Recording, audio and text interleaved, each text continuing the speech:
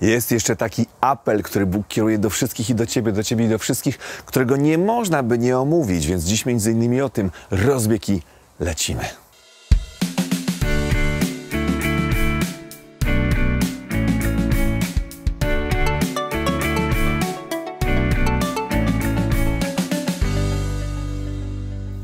Frajdę Życia z Bogiem Słowo daje dziś w wersji Espresso, jednowątkowo, krótko i na temat.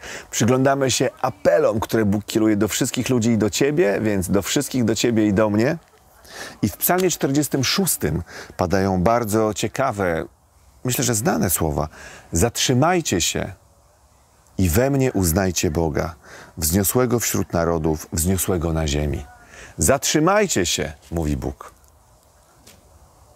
to jest chyba bardzo adekwatne słowo do naszych czasów, które chyba do wolnych zdecydowanie nie należą.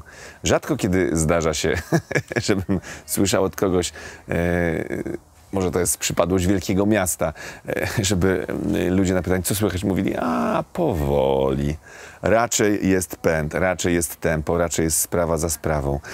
I niezależnie od tego, gdzie jesteś, w jakim tempie żyjesz, Wierzę, że Bóg mówi dzisiaj do ciebie: zatrzymaj się i we mnie uznaj Boga, wzniosłego wśród narodów, wzniosłego na ziemi.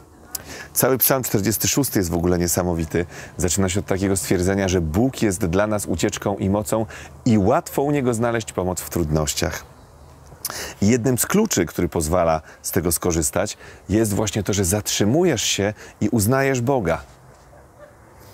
Czy jest to temat popularny w dzisiejszym świecie? Myślę, że i tak, i nie. To znaczy, część ludzi e, lubi mieć Boga, jakieś wierzenie, e, ale często jest to coś, co de facto kontrolują swoimi rytuałami, swoimi zachowaniami, e, przedmiotami, które noszą przy sobie, e, czy jakimiś ćwiczeniami, medytacjami, które jakoś im te doświadczenia duchowe e, zapewniają.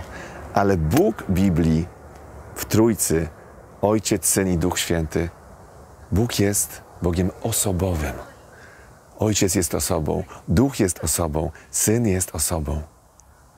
I tu chodzi o więź, o relację, o kontakt z żywym Bogiem przez wiarę w Jezusa Chrystusa, dzięki ufności pokładanej e, w Jezusie Chrystusie. I Bóg mówi: Zatrzymajcie się i we mnie uznajcie Boga.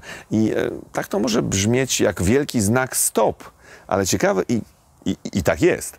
Ale ciekawe jest to, że tłumaczenie Biblii pierwszego Kościoła przekłada nam ten psalm używając słów odpocznijcie wreszcie i uznajcie, że ja jestem Bogiem. Bardzo mi się to podoba, bo kiedy słyszysz zatrzymaj się i uznaj Boga, to to trochę brzmi jak kontrola e, drogowa. E, i może czasami takiego szoku potrzebujemy, ale w innym tłumaczeniu słowo mówi: odpocznij. Odpocznij wreszcie i uznaj, że ja jestem Bogiem. Najwyraźniej tłumacz miał podstawy, żeby zdecydować się na takie tłumaczenie. Odpocznijcie wreszcie, czyli przestań się zmagać, człowieku, przestań walczyć i uznaj, że Bóg jest Bogiem. Przestań walczyć, przestań się zmagać i uznaj, że Bóg jest Bogiem, który ma być wywyższany wśród narodów, wywyższany na ziemi.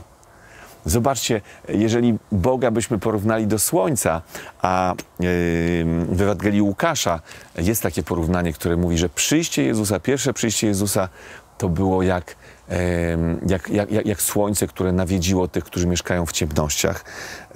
No to właśnie Bóg ma być wywyższany. Miejsce słońca jest wysoko nad nami. Wtedy ono spełnia swoje zadanie. Daje światło, daje ciepło, daje życiodajne światło, życiodajne ciepło. Jeżeli nie ma Boga w Twoim życiu, a wiem to z własnego doświadczenia, e, zanim się nawróciłem, zanim zmieniłem moje myślenie o Bogu w czasach licealnych, Bóg był daleki, Bóg był taki nieobecny, straszny. Nie miałem w życiu Jego światła, Jego ciepła, ale kiedy zwróciłem się do Boga przez wiarę w Jezusa Chrystusa, to On zaczął być wywyższany w moim życiu. Wywyższany na ziemi. I mogę przeczytać następny werset. Pan zastępów jest z nami, naszym schronieniem Bóg Jakuba. No, to się odnosi do historii Izraela, ale Bóg Michała, bo Jezus stał się moim Bogiem. Więc zatrzymaj się i uznaj Boga. Odpocznij wreszcie i uznaj Boga. Pomóż nam Duchu Święty, żeby tak się stało. Frajda Życia z Bogiem tyle na dziś. Jeśli podobało Ci się to nagranie, wyraź aprobatę, zostaw polubienie, komentarz i udostępnij je. Niech się niesie dobra wieść o frajdzie Życia z Bogiem, a my widzimy się przy kolejnej okazji.